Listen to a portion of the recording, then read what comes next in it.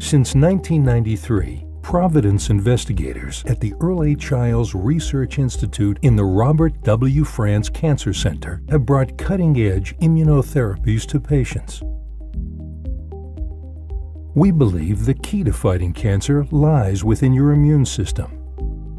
While our immune system is the best defense against cancer, sometimes our bodies need help. Immunotherapy, the science of stimulating a patient's immune system, can boost the body's natural defenses to fight cancer, teaching the body to recognize malignant cells and look for foreign invaders.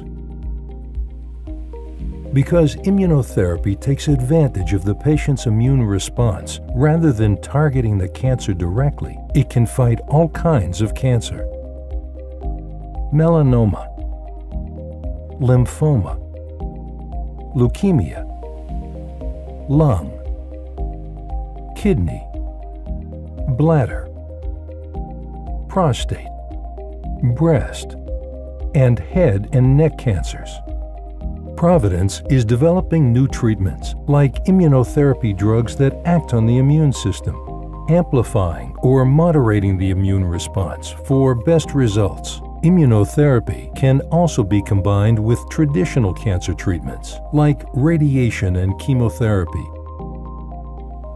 At Providence, we are researching the best combination of therapies our patients are often the first in the world to receive new treatments that are only available at a handful of centers like ours who specialize in immunotherapy.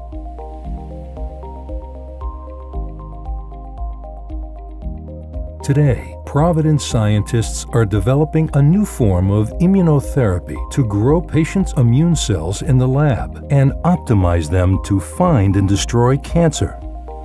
This research, called adoptive cellular therapy, will bring new hope to patients fighting cancer.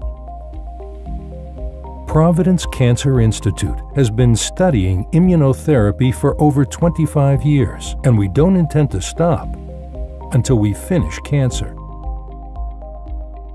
Learn more at finishcancer.org/oregon.